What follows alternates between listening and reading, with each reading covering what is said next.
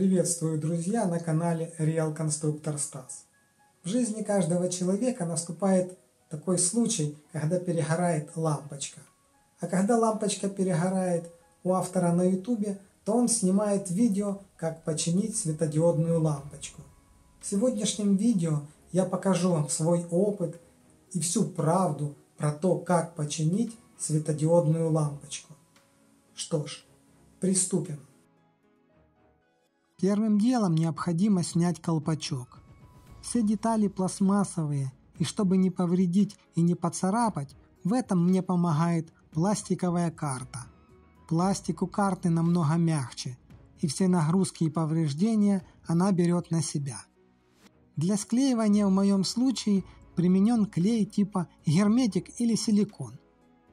Он хорошо тянется, поэтому получается расширить щель и разрезать его ножом по периметру.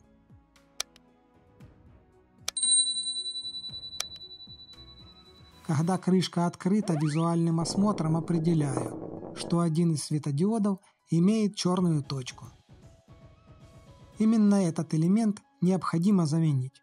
Зажимаю лампу в тиски и пробую аккуратно, не повредив при этом соседнее, выпаять светодиод при помощи паяльника, поддевая его ножом.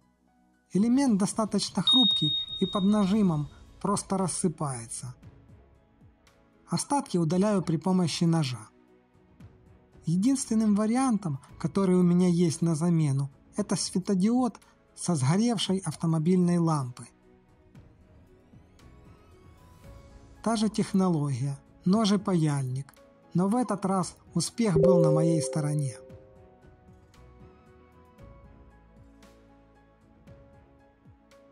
Ток проходит от плюса к минусу, от первого светодиода к последнему, по нумерации на плате.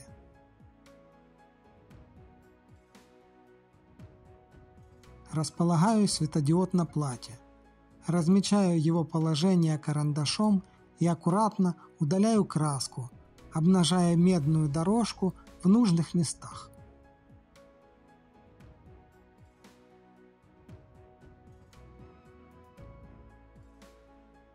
При помощи паяльника ложу две получившихся площадки.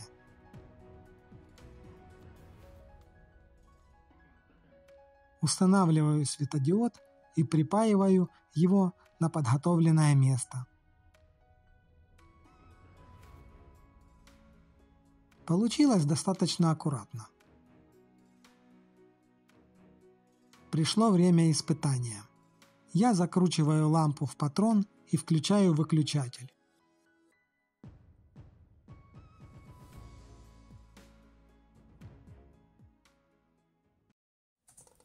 О чудо!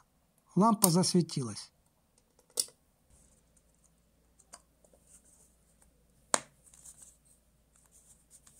Одеваю колпачок на место и говорим, что все просто. Но нет, только не на моем канале. Такую чушь вы можете увидеть где угодно, только не здесь. Как же все было на самом деле?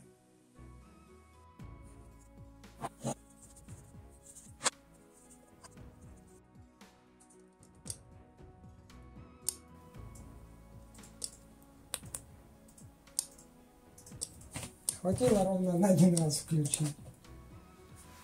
Светодиод сгорел после двух секунд работы. Конечно, нужно ставить 12-вольтовые, а я поставил 3-вольтовый. А у меня другого нет. А заказывать китайский? Нет, это не про меня. Пользуясь интернетом, вычитываю, что нужно поставить сопротивление на полтора килоома. Нахожу единственное, и оно достаточно мощное. Удлиняю ему одну из ножек.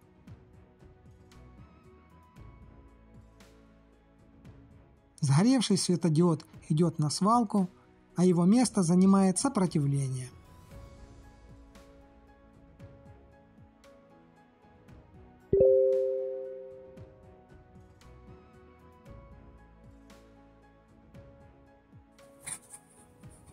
Вкручиваю лампочку и приступаю ко второму включению.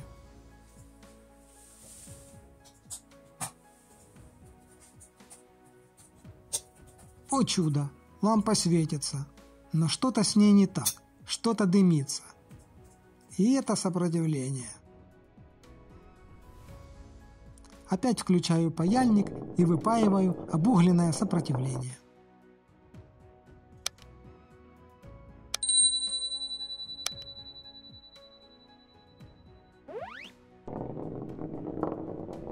Последним решением, а оно самое простое, является перемычка.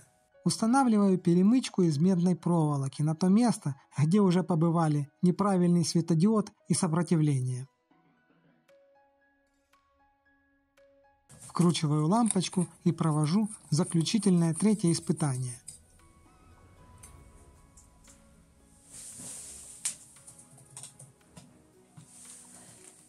Щелкает выключатель, и лампа начинает светиться как новая.